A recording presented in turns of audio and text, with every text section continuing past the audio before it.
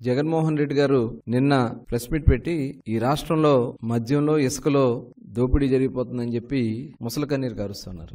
ఈ రాష్ట్రంలో వ్యవస్థలన్నీ నాశనం అవడానికి కారణం మీరు కాదా జగన్మోహన్ రెడ్డి గారు? మీ ధనదాహానికి ప్రజల్ని రక్తాల్ని పీల్చి డబ్బులు చేసుకుంది వాస్తవం కాదా? ఇవాళ మీరు మాట్లాడే అర్హత మీకుందా? ఈ రాష్ట్రంలో మద్యం విధానం ఏ రాష్ట్రంలో జరగనటువంటి ఒక పద్ధతి ప్రకారం జరుగుతున్నటువంటి మద్యం విధానాన్ని మీ స్వార్థం కోసం మీ దోపిడీ కోసం మొత్తం విధానాన్ని మార్చేసి ఎక్కడ మళ్ళీ మీకు అడ్డు అదుపు లేకుండా చేసుకోవాలనే ఉద్దేశంతో పటిష్టంగా ఉన్నటువంటి ఎక్సైజ్ డిపార్ట్మెంట్ టాస్క్ ఫోర్స్ కానీ ఎక్సైజ్ డిపార్ట్మెంట్ ద్వారా నిర్వహించే మరి ఆనాడు పర్యవేక్షణలో నడిచినటువంటి విధానాన్ని రద్దు చేసి డిపార్ట్మెంట్నే నిట్ట నిలువునా చీల్చేసి స్పెషల్ ఎన్ఫోర్స్మెంట్ బ్యూరో అని పెట్టి సెబ్ అని చెప్పి సపరేట్ చేసి డెబ్బై శాతం మందిని ఎక్సైజ్ డిపార్ట్మెంట్ నుంచి డైవర్ట్ చేసి మీ అక్రమాలకి ఎక్కడా కూడా అడ్డు అదుపు లేకుండా చేసుకోవడానికి. చేసింది వాస్తవం కదా? ఈ రోజు మళ్ళీ మీరు మాట్లాడుతూ ఉంటే దెయ్యాలు వేదాలు వల్లిస్తున్నట్లుగా ఉంది. మీరు చేసినటువంటి విధానంలో డిస్టలరీస్ దగ్గర నుంచి ఎక్కడైతే ఉత్పత్తి జరుగుద్దో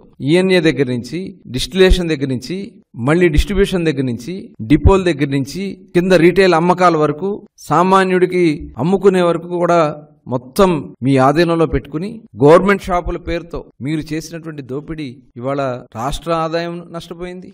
ప్రజలు ఆరోగ్యాన్ని కోల్పోయారు పనికిరాని చెత్త బ్రాండ్లు పెట్టి మొత్తం ఆ- డిస్టిలేషన్ విధానంలోనే కల్తీలు చేసి మొత్తం కూడా ఒక అడ్డు అదుపు లేకుండా ఎదురు చెప్పేవాడు లేకుండా ఇవాళ వేల మంది కొన్ని లక్షల మంది దాదాపు యాభై లక్షల మంది అనారోగ్యం పాలైపోయింది వాస్తవం కదా? లివర్లు పోయి కిడ్నీలు పోయి పెరాలసిస్ వచ్చి ఇది వాస్తవం కదా జగన్మోహన్ రెడ్డి గారు? దాదాపు లక్ష మంది పైన ప్రాణాలు కోల్పోయింది వాస్తవం కదా? ఇవన్నీ కూడా డేటా ఉంది. ఆత్మహత్యలు జరిగినాయి కానీ ఇవన్నీ కూడా క్లియర్గా డేటా ఉంది.